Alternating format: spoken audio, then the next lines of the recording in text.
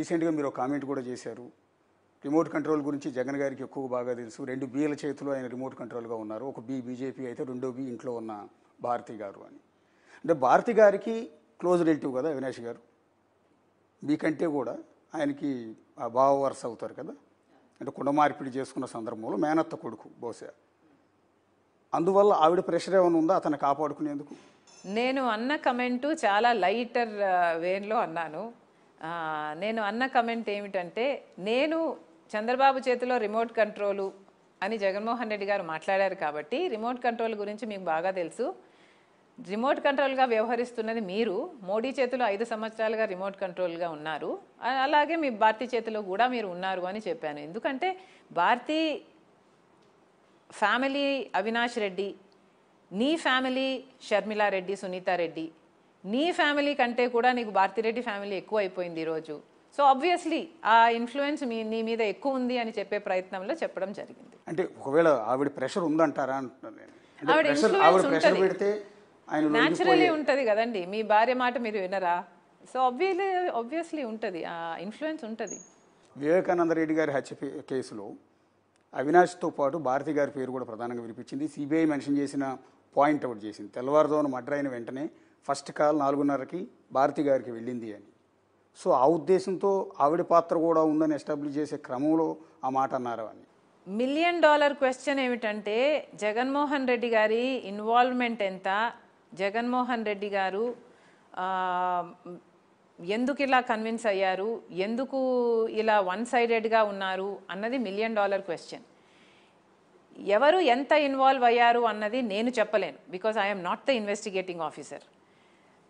ఒకవేళ phone call పోయింది అక్కడ ఆ సందర్భంలో ఏం జరిగింది అన్నది నాకు పూర్తిగా తెలియదు. కానీ తెలిసిన వాళ్ళు ఇన్వాల్వ్ అయిన వాళ్ళు ఫోన్ కాల్ చేసుకొని మాట్లాడుకున్న వాళ్ళు ఒక మాట వచ్చి బయట చెప్తే జనాలు కూడా అర్థమవుతుంది కదండి. ఇప్పుడు భారతిరెడ్డి గారో జగన్మోహన్ రెడ్డి గారో లేకపోతే ఎవరైనా వచ్చి ఇది జరిగింది అని చెప్తే ఎంత నీట్గా ఉంటుంది? మీరే కడిగిన ముక్తంలాగా బయటకు వస్తారు కదా మేము అమాయకులము మాకేం తెలియదు అన్న విషయము మీరు ప్రజలకు చెప్తే అర్థమయ్యేటట్టు చెప్తే ప్రజలకు కూడా అర్థమవుతుంది కదా. మీరేదో దాచిపెట్టాలని ప్రయత్నిస్తున్నట్టు మీరు ఎప్పుడు వచ్చి ఏది మాట్లాడరు ఎప్పుడు వచ్చి క్లారిఫికేషన్ ఇవ్వరు. నేను కన్విన్స్ అయ్యాను అంటారు. మీరు కన్విన్స్ అయితే ఎంత మీరు కన్విన్స్ అవ్వకపోతే ఎంత అండి? ఇట్ ఈ మాటలు మాట్లాడే బదులు ప్రశ్నలకు సమాధానం చెప్పండి. హార్ట్ అటాక్ అని ఎందుకు చెప్పారో చెప్పండి. సిబిఐ ఎందుకు వద్దంటున్నారో చెప్పండి. ఫోన్ కాల్ పొద్దున ఎప్పుడు వచ్చిందో చెప్పండి. మీ డిఫెన్స్లో మీరు మాట్లాడుకోవచ్చు కదా. మీరు ఇందాక అన్నారు మనం కూర్చున్న చోటే. ఇదే చోట వివేకానంద రెడ్డి గారు మెంటాలిటీస్ అను అనుకోవాలి. అంటే రాజశేఖర రెడ్డి బిడ్డని ఇన్ని మాటలు పడుతూ ఉంటే కొంతమంది పెయిడ్ ఆర్టిస్టులు సినిమా వాళ్ళని కూడా తీసుకొచ్చి వాళ్ళ చేత వీడియోలు రిలీజ్ చేస్తూ ఉంటే ఆ మాటలు వింటూ ఉంటే అదే రాజశేఖర రెడ్డి గారిని అభిమానించే మాలాంటి వాళ్ళు ఎన్నో కోట్ల మంది గుండె తరుక్కుపోతుంది చాలామందికి నిజానికి. చాలామంది ఎమోషన్ అవుతున్నారు. ఏంటి షర్మిల గారు ఇన్ని మాటలు పడాలా రాజకీయాల్లో? ఆవిడకి ఏం అవసరం నిజానికి? ఏం అవసరం ఆవిడకి లేని లోటు ఏముంది? దర్జాగా హ్యాపీగా బెంగళూరులో బిజినెస్ చేసుకుంటూ హ్యాపీగా ఉండొచ్చు. కానీ వాళ్ళు వచ్చి చెల్లెల కోసం అండగా నిలబడి ఇంత రోడ్ల మీద తిరుగుతూ ఇన్ని అవమానాలు పడుతున్నారే అని మాకు బాధేస్తాను అట్లా మీరు కూడా ఎమోషన్ అయినట్టున్నారు రెండు మూడు సభల్లో. How will it not hurt అండి ఇట్ డెఫినెట్లీ హర్ట్ ఎవరి కోసం అయితే నిస్వార్థంగా అన్ని కిలోమీటర్లు పాదయాత్ర చేశాను నేను ఎవరి కోసం అయితే ఏ పార్టీ కోసం కష్టపడ్డాను ఏ మనిషి కోసం కష్టపడ్డాను ఎందుకు చేశాను? ఆ రోజు మీరు కష్టాలలో ఉన్నారు కాబట్టి చేశాను కదా.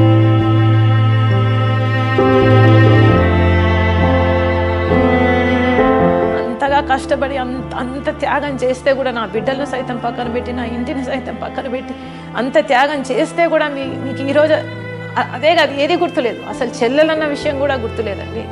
It's sad it's very sad కానీ ఏ చెల్లెలకి రాకూడని కష్టం కదండి ఇది. ఏ అన్న కూడా ఇలాంటివి చేయకూడదేమో. బహుశా ఒకవేళ ఆయనకి తెలియకుండా జరిగితే దాన్ని ఇమీడియట్గా కట్ చేయాల్సిన పరిస్థితి కూడా ఉంటుంది కదా. నా చెల్లెలు నా రక్తం పుంచు పుట్టిన చెల్లెలు రాజశేఖర రెడ్డి బిడ్డని ఎలా అంటున్నారు ఏంటని ఒక అన్న ఖచ్చితంగా కంట్రోల్ చేయాలి. కంట్రోల్ చేసే పరిస్థితి కూడా ఎక్కడ కనిపించలేదు కదా? ఎక్కడా కనిపించలేదండి. అసలు కేసీఆర్ నా వెహికల్ను టో చేసినప్పుడు కూడా మోడీ గారు అడిగారంట ఆయనని కానీ ఈయనలో చలనం లేదు.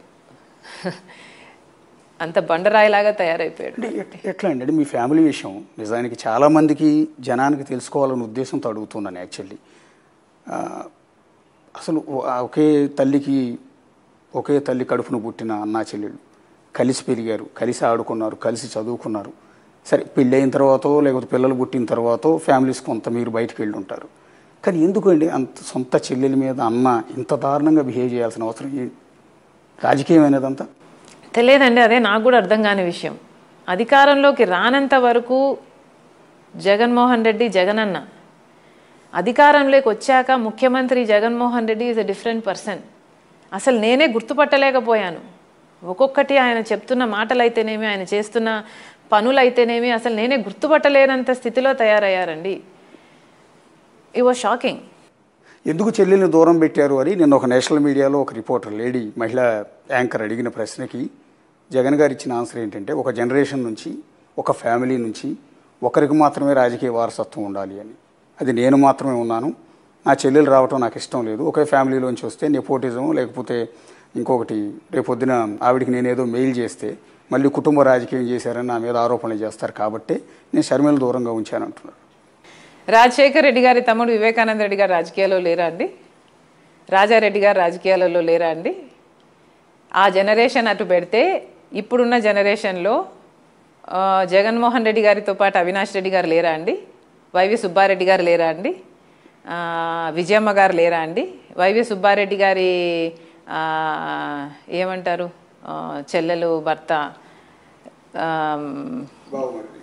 లేరా అండి? ఇలా ఎంతమంది లేరండి? బ- బంధువులుగా ఉన్నవారు ఎంతమంది లేరు? లేనిది నేను ఒక్కదాన్నే. బట్ పర్వాలేదు నేనేమి ఆయనకు ఆయనకు ఎప్పుడూ ఇష్టం లేదు నేను రాజకీయాల్లో ఉండాలి అని. కనుక నేను ఎప్పుడూ అడగలేదు నేను రాజకీయాల్లో ఉంటాను అని కానీ ఒక పోస్ట్ కానీ ఒక పదవి కానీ నేను ఎప్పుడూ నోరు తెచ్చి అడిగిందని కాదు. ఇన్ఫ్యాక్ట్ ఆయనే చెప్పాడు ఎంపీగా చేస్తాను నేను అని. అమ్మకు మాటిచ్చాడు కాబట్టి అమ్మే అప్పుడప్పుడు అడుగుతూ వచ్చింది తప్పితే నేను ఎప్పుడూ నోరు తెరిచి అడగను కూడా లేదు నాకు ఇది కావాలి అని. ఆ ఎక్కడా రాసి పెట్టలేదండి. కుటుంబంలో ఒక్కరే ఉండాలి అని ఎక్కడా లా లేదు ఎక్కడా రాసి పెట్టలేదు. ఆయన మైండ్లో ఆయన రాసుకున్నారు. ఫైన్ అదే ఆయన ఇష్టం ఆయన పార్టీ. కాకపోతే ఇదేదో నేను ఇన్సిస్ట్ చేశాను అన్న అందుకు ఈ డిఫరెన్సెస్ వచ్చాయి అన్న ప్రచారం చేయడం is not right because that is not what happen అంటే చంద్రబాబు రేవంత్ రెడ్డి కలిసి మీకు ఏదో రాజ్యసభ సీట్ ఇస్తా అన్నారు లేకపోతే ఇంకో పదవి ఏదో ఇస్తా అన్నారు అందుకని ఆమెను తీసుకొచ్చి వ్యూహాత్మకంగా నా మీద నా చెల్లెని నా మీదే ప్రయోగిస్తున్నారు. రేవంత్ రెడ్డి స్కెచ్ చేస్తున్నారు. అంటే టీడీపీ పార్టీలో నాకు రాజ్యసభ ఇస్తారా? కాంగ్రెస్ పార్టీలోనో లేకపోతే టీడీపీలోనో? మీకు కోరినట్టుగా రేపొద్దున అవసరమైతే అక్కడ ఉన్న రేవంత్ రెడ్డి ఇక్కడ ఉన్న చంద్రబాబు కలిసి మీకు రాజ్యసభ చంద్రబాబు గారి పిచ్చి పట్టిందేమో అని నాకు ఒక చిన్న అనుమానంగా ఉందండి. Because Jaganmohan Reddy is so obsessed with Chandrababu గారు. చాలా డిల్యూషనల్గా ఆలోచనలు చేస్తున్నారు. చంద్రబాబు గారు నన్ను కంట్రోల్ చేస్తున్నారట చంద్రబాబు గారు సునీతను కంట్రోల్ చేస్తున్నారట న్యాయం కోసం పోరాడుతుంది తనకు కంట్రోల్ చేస్తున్నారు చంద్రబాబు గారు రేవంత్ రెడ్డి గారిని కూడా కంట్రోల్ చేస్తున్నారట చంద్రబాబు గారు ఆఖరికి మోడీని కూడా కంట్రోల్ చేస్తున్నాడంట ఎందుకంటే చంద్రబాబుతో పొత్తు పెట్టుకున్నాడు కాబట్టి. చంద్రబాబు గారికి అంత పవర్ ఉందా అండి? చంద్రబాబు గారికి అంత పవర్ ఉంటే మరి జైలుకి ఎందుకు వెళ్తాడండి? చంద్రబాబు గారు అంత పవర్ఫుల్గా చేసేది ఎవరండి? జగన్మోహన్ రెడ్డి గారు కదా. ఈయనలాగానే పక్క రాష్ట్రంలో రేవంత్ రెడ్డి గారు ఒక ముఖ్యమంత్రి. ఒక ముఖ్యమంత్రి స్థాయిలో ఉన్న వ్యక్తిని పట్టుకొని ఇంకోటి కంట్రోల్ చేస్తున్నాడు అంటే ఏం చెప్తున్నాడంటే ఈయన ఇంకోటి కంట్రోల్ చేస్తున్నాడనా? ఈయన ఎవరి చేతితో కంట్రోల్ అవుతున్నాడండి? ఏం మాట్లాడుతున్నారండి? ఒక ముఖ్యమంత్రి స్థాయిలో ఉన్న వ్యక్తి ఇంకొక రాష్ట్రంలో ఉన్న అపోజిషన్ లీడర్ కంట్రోల్ చేస్తున్నాడా? ఆ అపోజిషన్ లీడర్కు పవర్ ఉంటే ఆయన జైలుకు పోకుండా ఆయన నన్ను కాపాడుకోలేడా? జగన్మోహన్ రెడ్డి గారికి ఒక పిచ్చి పట్టినట్టే నాకు నాకు ఆయన మెంటల్ కండిషన్ మీద నాకు జెన్యున్గా కన్సర్న్ ఉంది. ఒక ఒక చెల్లెలిగా I want his mental health to be fine and sound కాబట్టే ఆ రోజు నేను అద్దం చూపించి అన్నా మీకు మీరు కనిపిస్తున్నారా? చంద్రబాబు గారు కనిపిస్తున్నారా? దీంట్లో చెక్ చేసుకోండి అని పంపించడం జరిగింది. బికాస్ ఏది మాట్లాడినా చంద్రబాబే కారణం అండి. ఏదైనా చంద్రబాబే కారణం అన్నట్లు మాట్లాడుతున్నారు అంటే ఇంకా మీరు చంద్రబాబు గారు పిచ్చి పట్టినట్టు డిల్యూషనల్గా మీరు ఆలోచనలు చేస్తున్నారు అని మీరే ప్రూవ్ చేసుకుంటున్నారు కదా? ఆయన నాకు రాజ్యసభ ఇవ్వడమేందండి చంద్రబాబు నాకు రాజ్యసభ ఇవ్వడమే చంద్రబాబు నాకు రాజ్యసభ ఇయ్యగలడంటే నేను ఆ పార్టీలోనే చేరేదాన్ని కదా?